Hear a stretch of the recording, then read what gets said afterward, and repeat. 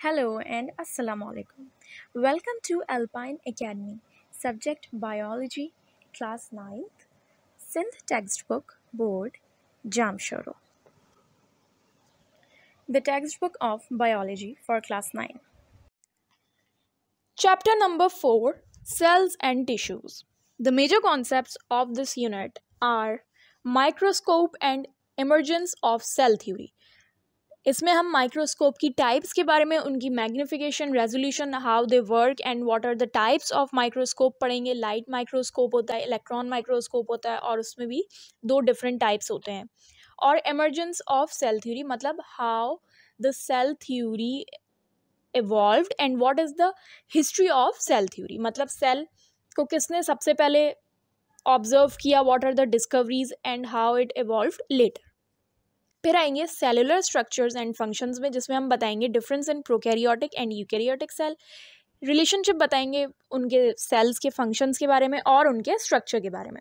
Cell size shape surface area के हिसाब से और वॉल्यूम रेशियो के हिसाब से एक्टिव एंड पैसिव ट्रांसपोर्ट बताएँगे मैटर का, जिसमें इंक्लूडेड है diffusion osmosis facilitated diffusion filtration endocytosis active transport और एक्जोसाइटोसिस फिर आएँगे टिश्यूज़ पे, जिसमें हम पढ़ेंगे एनिमल टिश्यूज़ के बारे में और प्लांट टिश्यूज़ के बारे में।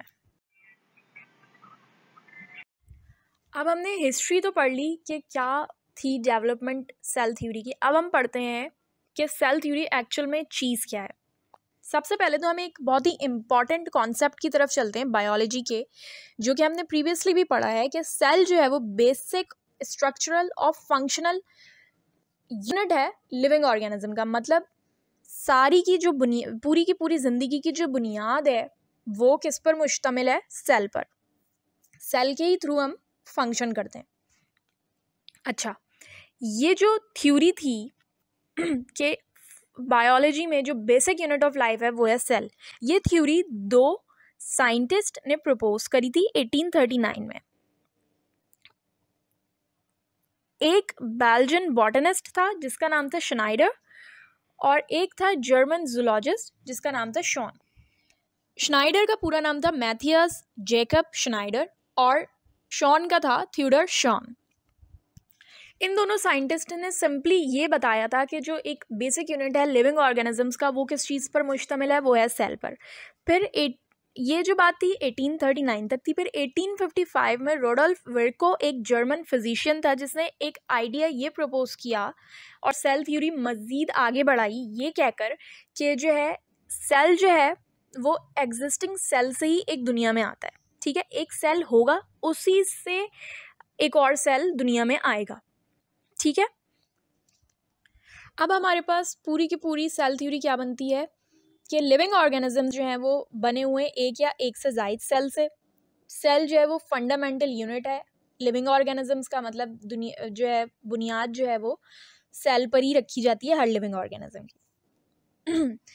एक नया सेल जो दुनिया में आता है वो एक एक प्री एग्जिस्टिंग सेल से ही डिवाइड होकर थ्रू सेल डिवीज़न के प्रोसेस से ही आता है दुनिया में नया सेल सेल जो है वो कंटेन करता है हेरिडिटरी मटेरियल जो कि एक नस्ल से दूसरी नस्ल तक आगे जाते हैं।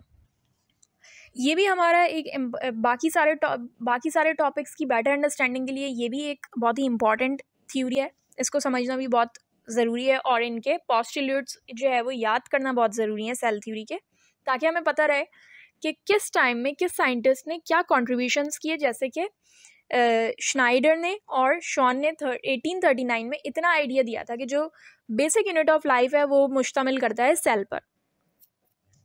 फिर इस, उसको मज़ीद एडिशन में एक और जर्मन फिजिशियन ने, जिसका नाम था रुडल्फ विर्को 1855 में ये एक्सटेंशन दी सेल थ्योरी में मतलब उसको मज़ीद आगे बढ़ाया कि जो है लिविंग सेल्स जो हैं, वो एक प्री एग्जिस्टिंग सेल से ही दुनिया में आते हैं। और ये बाकी इनके सारे के सारे इन इन साइंटिस्ट के ही मेजर कॉन्ट्रीब्यूशन हैं सेल थ्योरी को मज़ीद डेवलप करने में, जिसमें जो है मोस्ट प्रोमिनेंट नेम्स हैं श्नाइडर के शॉन के और विरको के। इनकी पिक्चर्स गिवन है, आप देख सकते हैं इनको फुल नेम्स के साथ। ये इंपॉर्टेंट टॉपिक है फिलिंदर ब्लैंक्स में भी आ सकता है और चूज़ द बेस्ट आंसर्स में भी आ सकता है। अब चलते हैं सब सेलुलर और ए सेलुलर पार्टिकल की तरफ़। सब सेलुलर का मतलब होता है अकरिंग और situated within a cell मतलब कि एक सेल में पाए जाने वाले पार्टिकल मतलब उसी के अंदर। ये बहुत ही इंपॉर्टेंट कॉन्सेप्ट है तो इसको ध्यान से सुनिएगा। अब जो है, सबसे पहले इधर लिखा हुआ है कि वायरसेस प्रियॉन्स और वेरॉइड्स जो होते हैं वो बजाते खुद किसी सेल से कॉम्पोज नहीं होते, बल्कि ये सब सेलुलर पार्टिकल कहलाते हैं, क्योंकि लिविंग और नॉन लिविंग दोनों कैरेक्टरिस्टिक्स शो करते हैं। वायरसेस प्रियॉन्स और वेरॉइड्स वायरसेस प्रियॉन्स वेरॉइड्स ये पार्टिकल्स जो है, दोनों तरह से बिहेव कर सकते हैं मतलब कि लिविंग ऑर्गेनिज्म की तरह भी और नॉन लिविंग ऑर्गेनिज्म की तरह भी। अब अगर लिविंग ऑर्गेनिज्म की बात करें अकॉर्डिंग टू सेल थ्योरी तो हमें पता है कि वो सेल पे मुश्तमिल करते हैं, जबकि वायरसेस प्रियॉन्स विरॉइड्स सेलुलर नहीं होते और इनमें सेल नहीं पाया जाता। अब फिर से लिविंग ऑर्गेनिज्म की बात करें अकॉर्डिंग टू सेल थ्योरी तो वो सेल डिवाइड करते हैं लिविंग ऑर्गेनिजम्स मतलब रिप्रोड्यूस करते हैं और इनमें डीएनए भी पाया जाता है मतलब कि हेरिडिटरी मटेरियल इसी तरह हम सब सेलुलर की बात करें तो इनमें डीएनए मौजूद है प्रोटीन्स भी होते हैं और ये रिप्रोड्यूस भी कर सकते हैं। इसी वजह से बायोलॉजिस्ट ने देखा कि जो है, ये नॉन लिविंग भी हैं और लिविंग ऑर्गेनिज्म दोनों तरीके से बिहेव करें तो बायोलॉजिस्ट ने इन पार्टिकल्स को बीच में रखा कि इनमें दोनों तरह की कैरेक्टरिस्टिक पाई जाती है लिविंग भी और नॉन लिविंग भी, दोनों तरह की।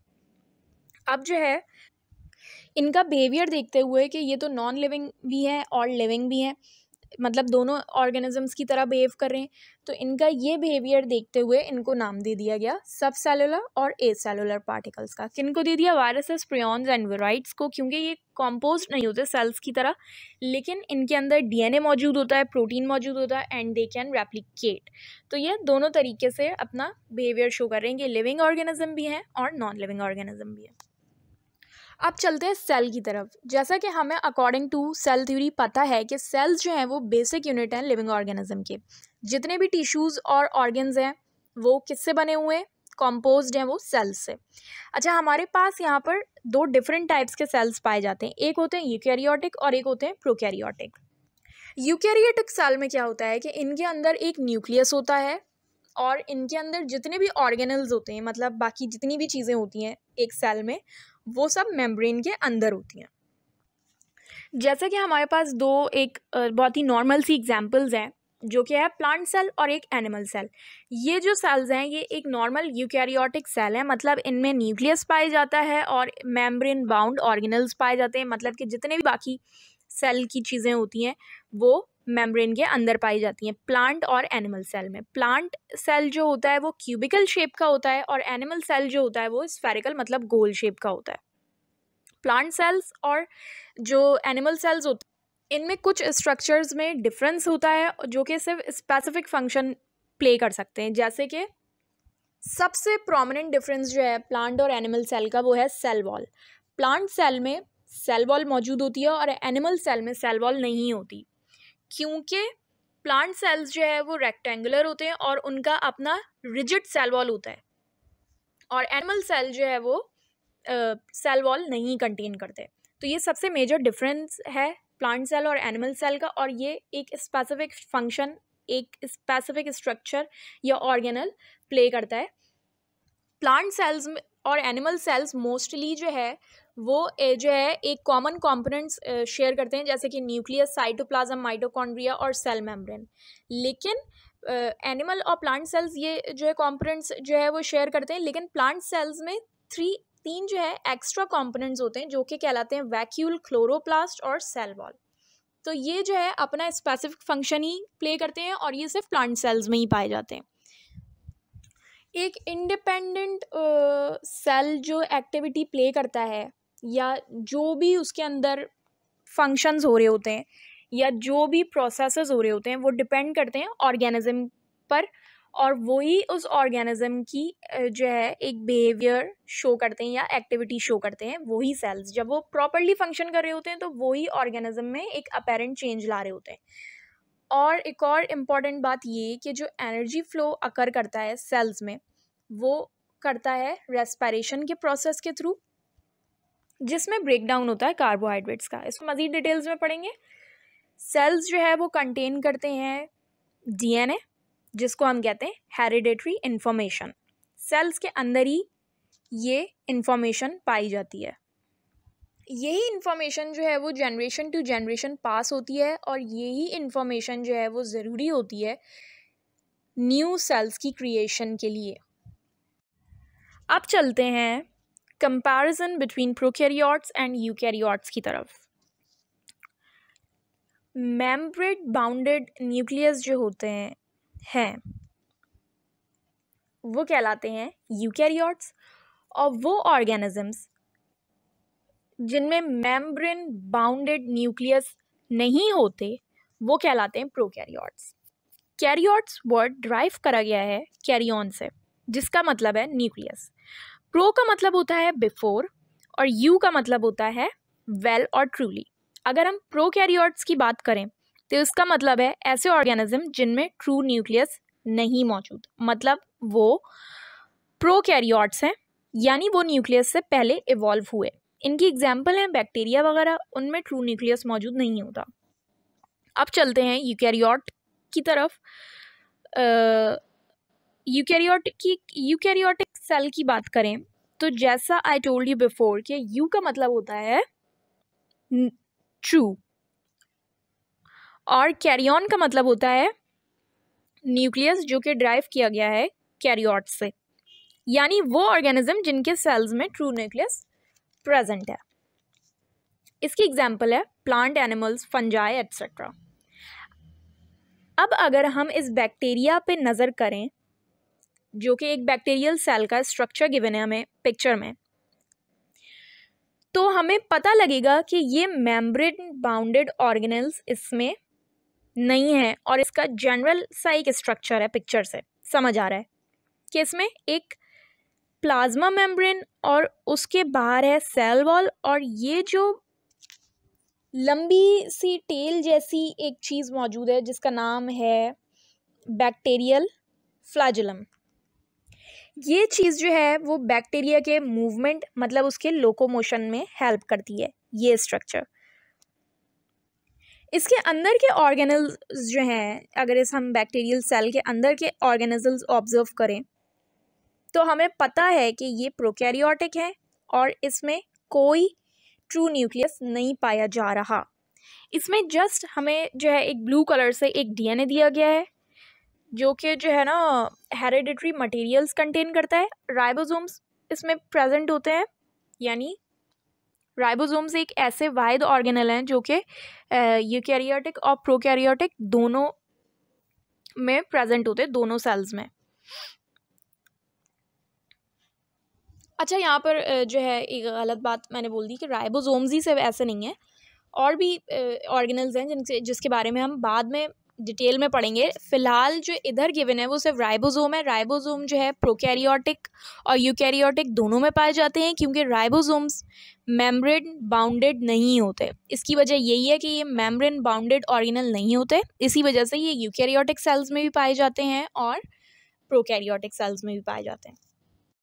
यहाँ पे सिंपल सा हमें टेबल दिया गया है आसानी के लिए, जिससे हमें पता चलेगा मेजर डिफरेंसेस क्या हैं प्रोकैरियोट और यूकैरियोटिक सेल्स में। इस चार्ट को गौर से देखें तो ये बता रही है सेलुलर स्ट्रक्चर के बारे में, प्रोकैरियोटिक और यूकैरियोटिक सेल के। जैसा कि हमने पहले पढ़ा, हर सेल के स्ट्रक्चर या फिर ऑर्गेनल का अपना एक स्पेसिफिक फ़ंक्शन होता है। तो यहाँ पर हमें प्रोकैरियोटिक सेल में बैक्टीरिया और साइनो बैक्टीरिया गिवन है और यूकैरियोटिक सेल में animals and plant cell given है। सेलुलर स्ट्रक्चर में अगर न्यूक्लियस की बात करें तो प्रोकैरियोटिक सेल में एक जनरल सा स्ट्रक्चर होता है और वो विदाउट मेम्ब्रेन प्रेजेंट होता है। उसमें ट्रू न्यूक्लियस प्रेजेंट नहीं होता। लेकिन अगर हम यूकैरियोटिक सेल में बात करें तो मेम्ब्रेन बाउंडेड न्यूक्लियस होता है। फिर हम प्रोकैरियोटिक सेल्स में बैक्टीरिया साइना बैक्टीरिया की बात करें तो इसमें नंबर ऑफ़ क्रोमोजोम्स जो होते हैं होते हैं, मगर ना होने के बराबर होते हैं। लेकिन यूकैरियोटिक सेल्स में एनिमल और प्लांट्स में more than one chromosomes present होते हैं। नंबर ऑफ़ सेल्स की बात करें तो प्रोकैरियोटिक सेल जो है वो यूनिसेलुलर होते हैं मतलब सिंगल होते हैं। लेकिन यूकैरियोटिक मतलब एनिमल और प्लांट यूनिसेलुलर भी हो सकते हैं और मल्टी सेलुलर भी हो सकते हैं मतलब एक सेल और एक से जायद सेल पे मुश्तमिल भी हो सकते हैं। ट्रू मेम्ब्रेन बाउंड ऑर्गेनल्स की बात करें तो प्रोकैरियोटिक सेल में ट्रू मेम्ब्रेन बाउंड ऑर्गेनल्स नहीं होते। जबकि यूकैरियोटिक सेल में प्रेजेंट होते हैं। लाइजोसोम्स और पैरोसिसोम जो होते हैं वो एबसेंट होते हैं प्रोकैरियोटिक सेल में और यूकैरियोटिक सेल में प्रेजेंट होते हैं। माइक्रोट्यूब्यूल्स एबसेंट होते हैं और बहुत ही रेयर पाए जाते हैं मतलब होते नहीं हैं प्रोकैरियोटिक सेल में, लेकिन यूकैरियोटिक सेल में प्रेजेंट होते हैं। एंडोप्लास्मिक रेटिकुलम भी एबसेंट होती है प्रोकैरियोटिक सेल में और यूकैरियोटिक सेल में प्रेजेंट होती है। माइटोकॉन्ड्रिया एबसेंट होता है प्रोकैरियोटिक सेल में और यूकैरियोटिक सेल में प्रेजेंट होता है। राइबोसोम्स प्रोकैरियोटिक में स्मॉलर होते हैं और यूकैरियोटिक सेल्स में लार्जर होते हैं। वेसिकल्स प्रेजेंट होते हैं और यूकैरियोटिक में भी प्रेजेंट होते हैं और प्रोकैरियोटिक में भी प्रेजेंट होते हैं। इसका हमें ये हम पहले ही पढ़ चुके हैं राइबोसोम्स वगैरह के बारे में। और वेसिकल्स के बारे में कि ये मेम्ब्रेन बाउंडेड नहीं होते, इसी वजह से ये दोनों तरह के सेल में प्रोकैरियोटिक और यूकैरियोटिक सेल्स में मौजूद होते हैं। गोल्जी एपरेटिस प्रोकैरियोटिक में एबसेंट है, मगर यूकैरियोटिक में प्रेजेंट है। क्लोरोप्लास्ट एबसेंट है प्रोकैरियोटिक में, लेकिन प्रेजेंट है यूकैरियोटिक की प्लांट्स की कैटेगरी में। क्लोरोप्लास्ट प्लांट की कैटेगरी में क्यों मौजूद है? एनिमल में मौजूद नहीं है, क्योंकि क्लोरोप्लास्ट ही अलाउ करता है प्लांट को कि वो एनर्जी कैप्चर करे, जो सनलाइट से आती है। प्लाज्मा मेम्ब्रेन प्रोकैरियोटिक सेल्स में यूजुअली नहीं पाई जाती और यूकैरियोटिक में पाई जाती है। न्यूक्लियर मेम्ब्रेन की परमीबियलिटी मतलब कौन से सब्सटेंसेस आउट और इन हो सकते हैं, वो वाली जो परमिएबिलिटी होती है मेम्ब्रेन की, वो प्रोकैरियोटिक में प्रेजेंट नहीं होती। और यूकैरियोटिक में सिलेक्टिवली प्रेजेंट होती है। वैक्यूल्स एबसेंट होते हैं प्रोकैरियोटिक में और यूकैरियोटिक में प्रेजेंट होते हैं। सेल साइज़ जो होता है वो वन से टेन नैनोमीटर होता है प्रोकैरियोटिक सेल्स का, जबकि यूकैरियोटिक सेल्स में प्लांट और एनिमल बोथ कैटेगरीज में वन से वन थाउज़ेंड नैनोमीटर तक पाया जाता है। प्रोकैरियोटिक सेल्स का जो फ्लैजिला होता है, वो सब माइक्रोस्कोपिक इन साइज़ होता है मतलब नॉर्मल लाइट वाले माइक्रोस्कोप से नहीं देखा जा सकता। और ये सिर्फ़ एक सिंगल फाइबर से बना हुआ होता है, जबकि यूकैरियोटिक सेल में माइक्रोस्कोपिक इन साइज़ ही होता है फ्लैजिला और मेम्ब्रेन बाउंडेड होता है। अब हम चलते हैं एनिमल सेल्स और प्लांट सेल्स के डिफरेंसेस की तरफ़। उनके सेलुलर स्ट्रक्चर्स उनके फ़ंक्शंस किस तरीके से डिफ़र करते हैं? और क्या डिफरेंस है एनिमल और प्लांट सेल में? सबसे पहला डिफरेंस है इनका सेल वॉल का, जो कि हमने पहले भी पढ़ा था।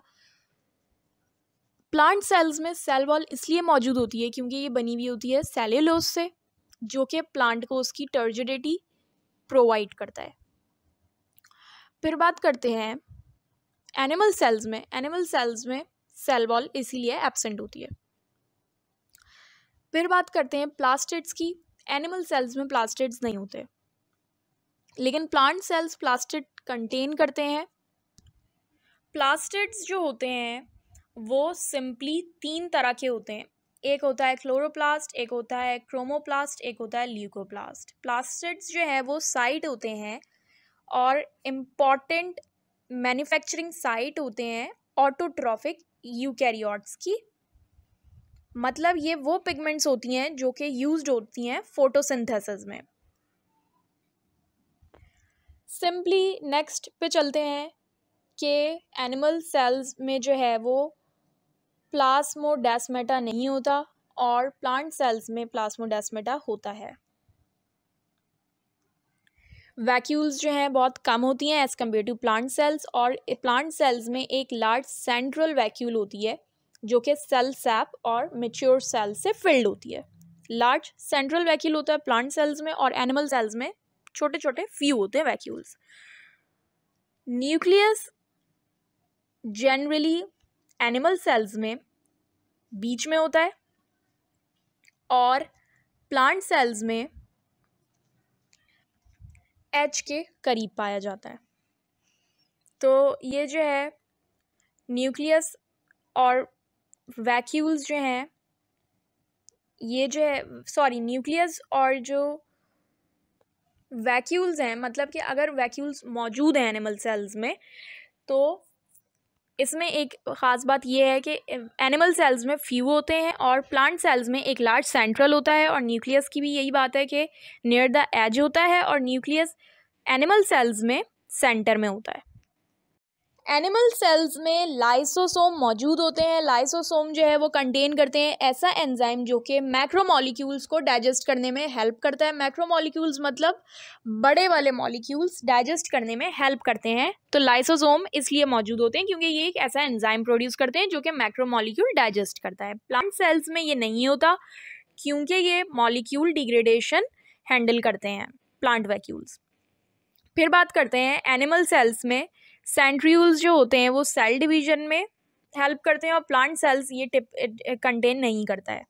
सेंट्रियोल ये जो डायग्राम आपको शो की गई है, ये है एनिमल सेल की और प्लांट सेल के सेक्शन की थ्रू द सेल और इसमें डिफरेंट ऑर्गेनल्स मौजूद हैं, जिससे हमें पता चल सकता है कि सबसे पहला तो डिफरेंस हमें यही पता चल जाएगा इस डायग्राम को देखिए कि प्लांट सेल में सेल वॉल मौजूद है और वेयर एज एनिमल सेल में ये मौजूद नहीं है। फिर हम ये भी देख सकते हैं कि इसमें क्लोरोप्लास्ट मौजूद है प्लांट सेल में, लेकिन एनिमल सेल में एबसेंट है और इसमें प्लांट सेल में एक लार्ज सेंट्रल वैक्यूल है। तो ये जो है डायग्राम की हेल्प से हम मेजर डिफरेंसेस जो है वो नोट डाउन कर सकते हैं और ये डायग्राम बहुत इंपॉर्टेंट है। ये जो है, इसके इंपॉर्टेंट जो है, वो भी आ सकते हैं फिलिंदा ब्लैंक्स भी आ सकते हैं चूज़ द बेस्ट आंसर भी आ सकता है। इनको डिफ्रेंशिएट करने के लिए भी आ सकते हैं तो ये अच्छा है कि स्टूडेंट्स जो है, वो ये डायग्राम अच्छे तरीके से याद कर लें, उनको बनानी भी ड्रॉ भी करनी आती हो, और उनको सिंपल जो है, वो इसको आउटलाइन भी करना आता हो कि क्या क्या मेजर ऑर्गेनल्स हैं, जो कि प्लांट सेल में पाए जाते हैं और एनिमल सेल में पाए जाते हैं और क्या नहीं पाए जाते हैं। Cell wall. सेल वॉल क्या चीज़ है? अच्छा सेल वॉल जो है प्रो प्रोकैरियोट और यू यूकैरियोट, जैसा कि हम प्रीवियस टेबल अगर रिकॉल करें, अगर हम याद करें तो हमने देखा कि वो मौजूद थी प्रो प्रोकैरियोटिक में भी और यू यूकैरियोटिक में। लेकिन यू यूकैरियोटिक में किसमें? प्लांट सेल में, एनिमल सेल में नहीं। तो प्लांट सेल में ये क्यों मौजूद होती है, सेल वॉल? और सेल वॉल का क्या फ़ंक्शन है, हम मज़ीद जानते हैं। और सेल वॉल क्या चीज़ है? सेल वॉल एक tough, rigid non living permeable protective layer है, ठीक है? किसी भी सेल की। परमिएबल का मतलब उसमें सब्सटेंस इन और आउट हो सकते हैं, और ये एक प्रोटेक्टिव लेयर है। अच्छा ये लेयर जो होती है, ये प्लाज्मा मेम्ब्रेन से पहले आती है ये लेयर जो कि कहलाती है cell wall cell wall prokaryote और यूकैरियोट दोनों में मौजूद होती है। यूकैरियोट में प्लांट सेल्स में मौजूद होती है। और फंगाई, एल्गी और बैक्टीरिया में भी मौजूद होती है। बैक्टीरिया हमारे प्रोकैरियोट्स होते हैं और फंगाई और एल्गी जो होते हैं वो यूकैरियोट्स होते हैं। लेकिन सेल वॉल के फ़ंक्शंस क्या हैं? इनके फ़ंक्शंस ये हैं कि ये प्रोटेक्ट करती हैं स्ट्रक्चर और सपोर्ट में। ये तीन जो है, इनके मेन कीज़ हैं सेल वॉल की फ़ंक्शंस के। सबसे पहले तो हम इसके कॉम्पोजिशन की तरफ़ करते हैं। फोकस, कि इनका कॉम्पोजिशन जो है मतलब ये जो सेल वॉल बनी हुई है, ये किस चीज़ से बनी हुई है और किस ऑर्गेनिज्म में किस चीज़ से बनी हुई है और किस चीज़ पर डिपेंड करती है। प्लांट्स में सेल वॉल जो है, वो सेल्यूलूज से बनी हुई है, जो कि कहलाते हैं स्ट्रॉन्ग फाइबर्स बैक्टीरियल सेल्स में ये बनी हुई होती है शुगर एंड अमाइनो एसिड से, जो कहलाते हैं पेप्टिडोग्लाइकन और फंगल सेल्स में ये केटन ग्लूकन्स एंड प्रोटीन से बनी हुई होती है। प्लांट सेल में ये जो सेल वॉल होती है कॉम्पोज होती है सेल्यूल्यूज से? सेल्यूल्यूज क्या होता है? सेल्यूल्यूज जो है, वो मेन सब्सटेंस है, जो कि सिर्फ़ प्लांट की सेल्स वॉल्स में पाए सेल वॉल्स में पाया जाता है और ये प्लांट को हेल्प करता है कि वो स्टिफ और स्ट्रॉन्ग रहे, क्योंकि प्लांट सेल में एक टर्गर प्रेशर होता है, जो कि जो है, पानी से होता है। अगर ये जो प्रेशर जो है, ये अगर मेंटेन नहीं रखा जाए तो ये सेल वॉल जो होगी या सेल जो होगा वो बर्स्ट कर जाएगा। लूजिंग अ प्लांट्स टर्जिडिटी मतलब प्लांट्स अपना टर्गर प्रेशर लूज कर देगा। तो इस वजह से सेल वॉल में सेल्यूलूस प्रेजेंट होता है ताकि वो प्लांट सेल को स्टिफ और स्ट्रॉन्ग रहने में हेल्प कर सके। अब सेलुलोज जो होते हैं वो तीन लेयर्स में पाए जाते हैं ताकि प्लांट को वो सपोर्ट कर सकें।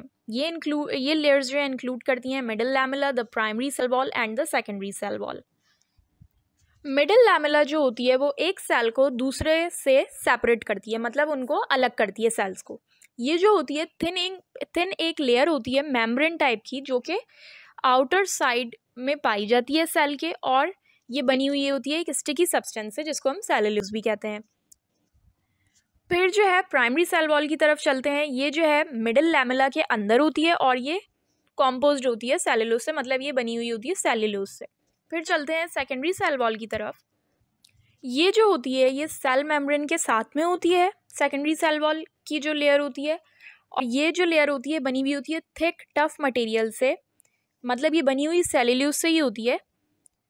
लेकिन जो है ये एक वाटर प्रूफ सब्सटेंस से साथ में इसको, ये जो है, एक वाटर प्रूफ सब्सटेंस होता है, जिसको हम कहते हैं लिग्निन लिग्निन जो होता है, ये जो है, समझ लें सेकेंडरी सेल वॉल की जो मतलब इसकी जो ये थर्ड लेयर है, जो कि सेल मेम्ब्रेन के साथ होती है, ये जो है बनी हुई होती है किस चीज़ से? सेलुलोज से बनी हुई होती है थिक और टफ मटेरियल सेलुलोज और इसके साथ में इसको जो एक चीज़ जोड़ के रखती है, इसी सेलुलोज को, वो होती है वाटर प्रूफ सब्सटेंस जिसको हम कहते हैं लिग्नन ये जो है वो सिर्फ़ प्लांट सेल्स में पाया जाता है, क्योंकि ये सपोर्ट करती है प्लांट को, उसकी मैकेनिकल सपोर्ट सॉरी क्योंकि ये प्रोवाइड करती है प्लांट को, उसकी मैकेनिकल सपोर्ट ये जो डायग्राम्स गिवन है, ये जो है शो कर रही हैं स्ट्रक्चर ऑफ़ सेल वॉल जिसमें गिवन है middle lamella primary cell wall और सेकेंडरी सेल वॉल मतलब थ्री लेयर्स दिखा रहे हैं सेल वॉल की.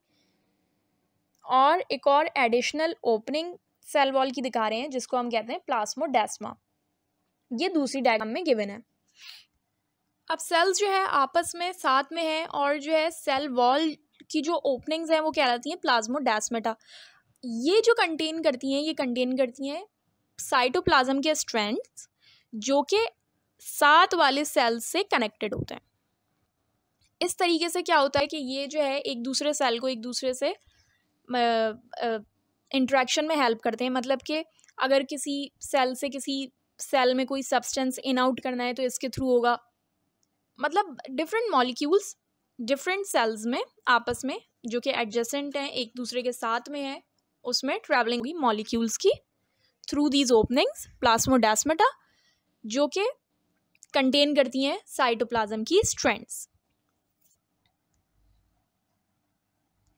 यहाँ तक हमें सेल वॉल की सारी फ़ंक्शंस पता चल गए, लेकिन एक जो बेसिक मेन फ़ंक्शन है सेल वॉल का, वो यही है कि वो इनर पार्ट को जो है प्लांट सेल के वो प्रोटेक्ट करती है। प्लांट सेल को एक यूनिफॉर्म और एक रेगुलर शेप देती है प्रोवाइड करती है टर्जिडिटी और सपोर्ट करती है प्लांट बॉडी को उसके शेप के लिए और उसकी टर्जिडिटी के लिए। सेल वॉल जो है वो कम्प्लीटली परमिएबल होती है मतलब उसमें सब्सटेंसेस इन और आउट हो सकते हैं। परमिएबल का मतलब ये होता है कि इन और आउट हो सकते हैं सब्सटेंसेस तो इसमें सब्सटेंसेस क्या होते हैं? वाटर और मिनरल सॉल्ट ये जो है थ्रू आउट द प्लांट मतलब पूरी प्लांट में इसके थ्रू ये जो है न्यूट्रिएंट्स जो है वो ट्रेवल कर सकते हैं।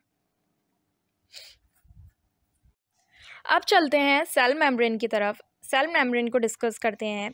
सेल मेम्ब्रेन के बारे में प्रीवियसली चार्ट अगर हम रिकॉल करें, जो टेबल गिवन था, उसको अगर हम रिकॉल करें तो हमें पता है कि ये हर किस्म के ऑर्गेनिज्म में ही पाई जाती है। भले से वो यूकैरियोट यूकैरियोटिक सेल हो या प्रोकैरियोटिक सेल हो या कोई सा भी ऑर्गेनिज्म हो एनिमल सेल उसके अंदर ऑर्गेनिज्म में हम अगर एनिमल सेल ले लें या प्लांट सेल ले लें या बैक्टीरिया ले लें तो हमें पता है कि सेल मेम्ब्रेन हर तरह के ही ऑर्गेनिज्म में पाई जाती है। सबसे पहली बात तो ये कि सेल मेम्ब्रेन जो है वो सेल की आउटर मोस्ट बाउंड्री है, जिसको हम प्लाज्मा मेम्ब्रेन भी करते हैं, कहते हैं। इसका फ़ंक्शन ये है कि ये सराउंड करती है और प्रोटेक्ट करती है साइटोप्लाज्म को सेल मेम्ब्रेन सेल मेम्ब्रेन जो है वो सेपरेट करती है इंट्रासेलुलर स्पेस को एक्स्ट्रा सेलुलर इन्वायरमेंट से। इंट्रा सेलुलर स्पेस का मतलब है सेल के इनसाइड को एक्स्ट्रा सेलुलर इन्वायरमेंट से मतलब जो सेल के बाहर है आउटसाइड है, उससे सेपरेट करती है उन स्पेसेस से एक दूसरे को। सेल मेम्ब्रेन जो है, उसका केमिकल कॉम्पोजिशन कुछ इस तरह का है कि इसमें प्रोटीन लिपिड्स और कुछ मकदार कार्बोहाइड्रेट्स की मौजूद है। इसके बारे में डिटेल्स में हम फ्लोइड मोजैक मॉडल में पढ़ेंगे। अभी तक सिर्फ़ इतना पढ़ना है कि सेल मेम्ब्रेन जो है वो कंपोज है डबल लेयर की मतलब बाई लेयर की स्पेशल लिपिड से, जिसको हम कहते हैं फॉस्फोलिपिड्स सेल मेम्ब्रेन जो है वो प्रोटेक्ट करती है साइटोप्लाज्म को और सेल मेम्ब्रेन जो है सेल को सराउंड करती है। सेल मेम्ब्रेन सेपरेट करती है इंट्रासेलुलर स्पेसेस को from the extracellular spaces sorry from the extracellular environment आपको कोई भी क्वेश्चन हो, इस चैप्टर से रिलेटेड या इस टॉपिक से रिलेटेड तो आप लोग इस ईमेल पर मैसेज कर सकते हैं हमें, या इस नंबर पर व्हाट्सएप कर सकते हैं, या तो फिर नीचे कमेंट्स बॉक्स में आप मैसेज छोड़ दें, हम ज़रूर जवाब देंगे। Thank you